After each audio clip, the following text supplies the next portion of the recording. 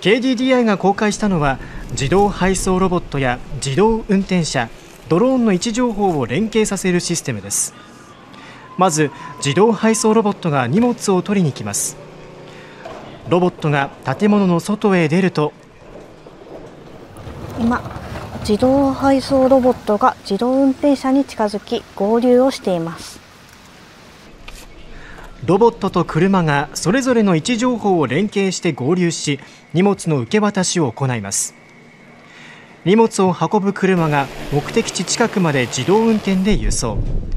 最後の車で配達できない山間部まではドローンを使い配送を完了します。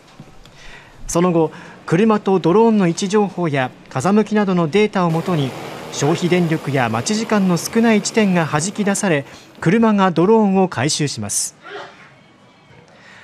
KDDI はこの技術を活用して2030年をめどに全く人の手を必要としない全自動の荷物配送サービスの開始を目指します。